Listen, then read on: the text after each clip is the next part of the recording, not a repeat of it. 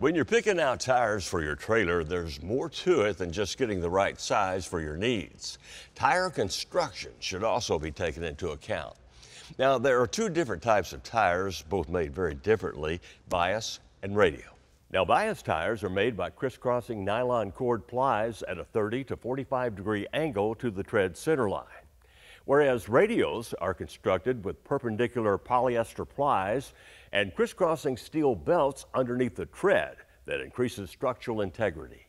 Now these two constructions obviously have different advantages and uses. Bias tires are tough and rugged and resist sidewall punctures. They're great for construction zones, down on the farm, hauling your bass boat, and for use on utility trailers. Radials, on the other hand, give a smooth ride and won't wear as fast, extending the life of the tire.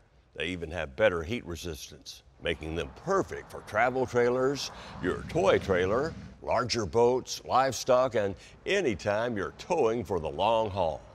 Well, there you go, bias or radial. Now you know how to choose the right tire construction for your towing application, and that will get you safely where you're going. And for more tips and information on Carlisle trailer tires, just haul your browser over to carlislecountry.com and check out their website.